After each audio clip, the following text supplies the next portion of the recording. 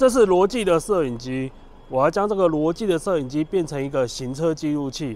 我不要透过电脑，我就直接在这一个一个我们公司做的一个板子上面直接做录影。那当然，它还可以做 HDMI 的输出，可以在这个荧幕上面显示。当然，这个实验是很瞎啦，所谓拿逻辑摄影机当行车记录器，而且这个成本架构也蛮贵的，只是一个 demo 而已。好，啊，这个我要把它架在车子上面。逻辑摄影机放在这边，好，然后呢，它的 USB。连接出来，连接到这一个板子，这是我们公司做的一个板子，叫做 USB 摄影机直播转换器。然后呢，这边可以吃这个 USB 输入的讯号，然后呢，它同时也可以输出到那个 iPhone，那也可以同时的 bypass 的 USB Webcam 输出，然后把它接进来就可以了。接。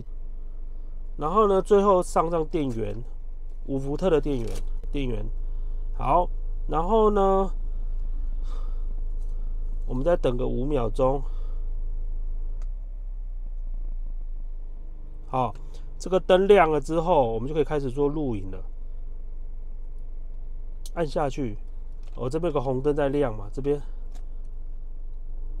这边红灯在亮。好，红灯那边表示说这一个 SD 卡已经在录影当中了。好，我们来实际录影看看，就是用这一个逻辑摄影机直接当行车记录器。我们实际开车一段。哦，这个行车记录器不会有人这样玩的啦。我只是研发出一个新的这个产品，叫做 USB 摄影机转换器。然后呢，只是测试这样的功能的，不会有人那么无聊拿逻辑摄影机当成行车记录器啊。那这个成本架构也太贵了，就直接拿行车记录器就好了。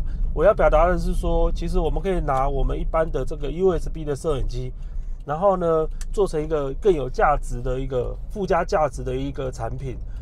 逻辑摄影机只是一个例子而已。比如说，你今天可以拿你的那个，呃呃，什么内窥镜的 USB 摄影机啊，也可以就直接录影啊，或者是做直播使用，是这样子。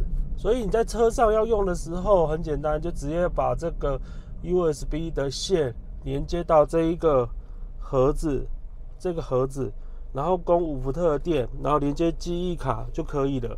那当然，你这边也可以连接你的连接电视出来，可以将摄影机的画面连接到电视出来。Hi，OK。还可以一路是 bypass 的 USB 输出连接到电脑，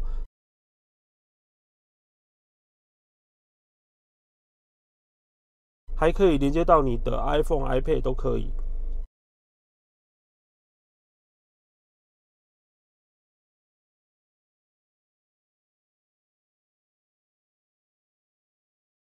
好，我们来实际看看这个实际录影的效果是怎么样。